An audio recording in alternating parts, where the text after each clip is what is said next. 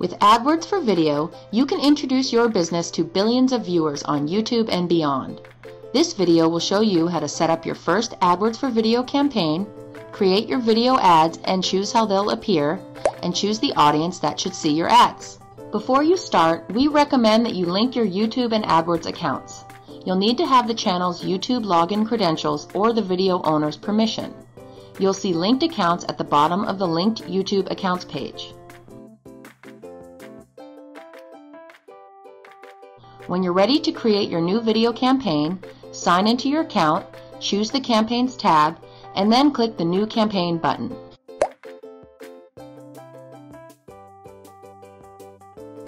Enter a campaign name and your daily budget. Next, choose the ad networks where you'd like your ads to appear. We recommend leaving all networks selected to expose your video to the largest possible audience. Now, choose your target locations and languages. Make sure your selected language matches the language spoken in your video. To create a new video ad, you'll need to tell us which YouTube video you'd like to advertise. You can search for the name of your video in the box or enter the YouTube URL here if you know it. If you have video content you'd like to promote before short or long form videos on YouTube and the Google Display Network, you can create an in-stream video ad. Under in-stream, you'll enter a display URL and destination URL.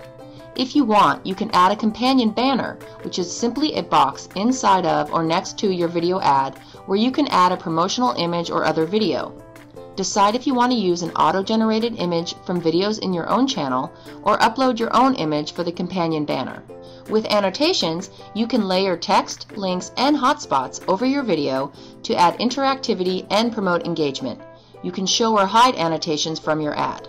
If you want to show a video next to YouTube videos as part of a YouTube search result or within other website content across the Google Display Network, you can create an in-display video ad. Just choose a thumbnail image and then add a headline and two-line description for your ad. Select a landing page for your ad and then give your ad a name. You can set custom tracking parameters if you'd like. Next, you'll choose how often you want to rotate your ad and set a limit on how frequently your ad will show. When you're done, click Save and Continue. Next, select how much you want to pay when someone views your video. This is called your Max Cost Per View or CPV bid. This is the most you're willing to pay when someone watches the first 30 seconds of the ad or watches it all the way to the end, whichever comes first. You can select a default maximum CPV bid for all ads in the campaign or select Customize bids per format to set individual bids. Your ad traffic estimates will update as you make changes. You can choose to limit your ad's reach by using demographic targeting, for example, by age, gender, or specific interests. You might want to keep your default settings to reach all viewers. For example, if you choose to target only men and women aged 55 to 64, you could significantly limit your ad's exposure. Once you're done with your targeting settings, click Save Targeting Group. You're all done creating your first video ad and campaign. Now you know how to create an AdWords for Video campaign that shares your story with a whole new audience on YouTube.